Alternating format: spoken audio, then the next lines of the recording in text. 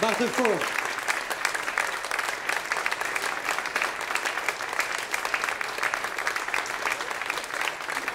Et vous avez pu entendre Claude Van Buren dans la partie.